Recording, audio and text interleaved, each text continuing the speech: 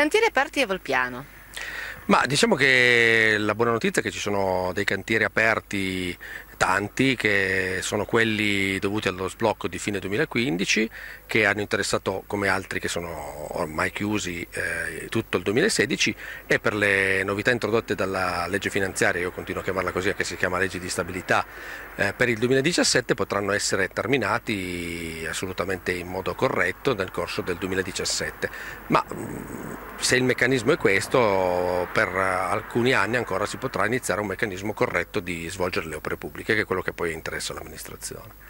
Uno di questi riguarda la nuova area mercatale. Certo, è uno dei, dei lavori più, più, più corposi, eh, anche perché è quello che come cronoprogramma prevedeva il maggior numero di giorni e eh, questo è quello che ancora appunto è sforato nel 2017, ma come spiegavo prima le nuove norme sugli appalti hanno fatto slittare il termine di consegna lavori e quindi anche questa sta rispettando il cronoprogramma e penso che sia terminato all'interno dei prossimi due mesi. Perché la decisione di fare queste novelle?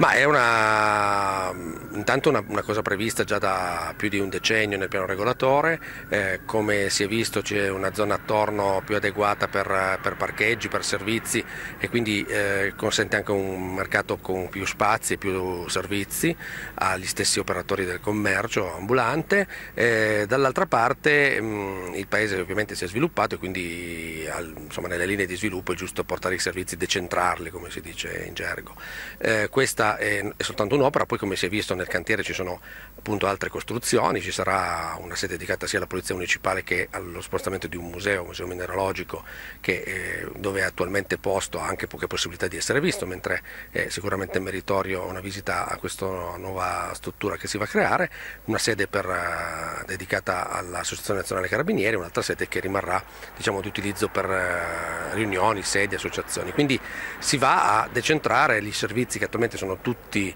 eh, nel centro storico, anche nelle parti dove i cittadini risiedono, però eh, in maniera adeguata perché a differenza del centro c'è più disponibilità sia per il parcheggio sia per eh, diciamo, la novità delle strutture e la sicurezza del luogo.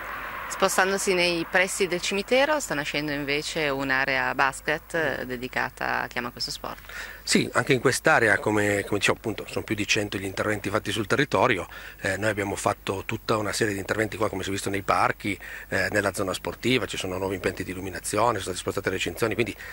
tanti sport, all'esterno quella più visibile dei cittadini perché non è all'interno di una zona chiusa, vi è quest'area che è stata pensata per il basket, che quindi eh, si aspetta un mese un po' più caldi per poter fare un'inaugurazione adeguata, ci sono tanti ragazzi che giocano al basket e gli sport tra virgolette minori si sentono sempre un po' invasi da, dal calcio che in ogni luogo piatto disponibile viene utilizzato, quindi questo è stato pensato per loro e pensiamo che possa essere eh, anche un'attenzione verso chi fa altri sport, non quelli soltanto diciamo più conosciuti o più importanti dal punto di vista della partecipazione.